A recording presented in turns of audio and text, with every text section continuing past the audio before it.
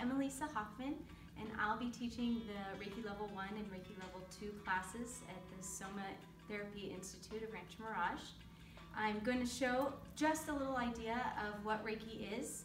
First, it, it's an energetic modality. It works through all three realms of the physical, the emotional, and the astral planes.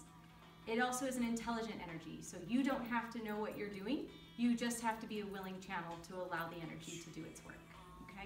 So first, I'm going to start with the head. I like to start with the head just because it calms the brain.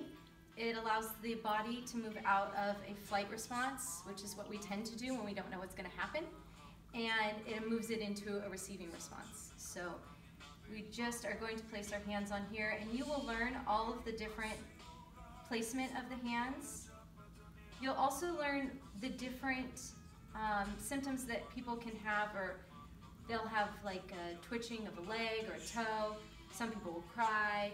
It's just energy being moved out of blockages that have been placed there unconsciously from different trauma or um, experiences that you've had in this life or others. As you move, you'll move through the heart chakra, down through the solar plexus, through the sacral, and through the root, the energy knows exactly where to go. So it doesn't really matter where you hit, you're just kind of moving yourself around, and you'll learn all of that in the next class. So hope to see you there.